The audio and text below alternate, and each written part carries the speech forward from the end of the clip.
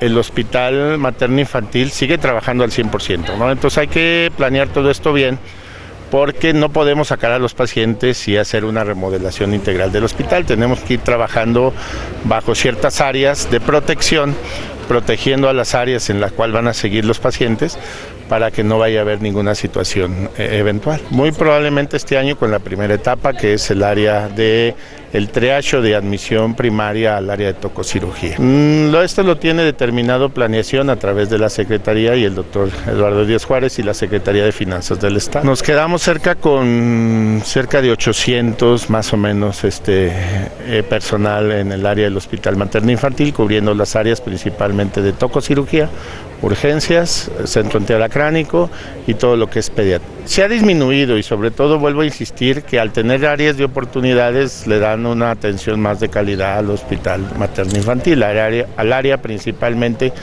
de la admisión de la mujer embarazada y del niño, ¿verdad? Que llega con alguna patología urgente. Pues siempre casi ha estado al 100%, ¿verdad? Prácticamente a lo mejor de repente baja al 95, 96, pero bueno, este nosotros este, estamos trabajando al 100%, ¿verdad? Sí quisiera yo puntualizar que gracias al apoyo del señor gobernador y del doctor Díaz Juárez se han fortalecido áreas como tococirugía, con la contratación de enfermeras, de médicos ginecólogos, médicos pediatras, médicos anestesiólogos, que han venido a fortalecer bien esta área. Y si ustedes lo ven, prácticamente eh, hemos podido abatir en estos meses la muerte materna, ya no se ha dado muertes maternas.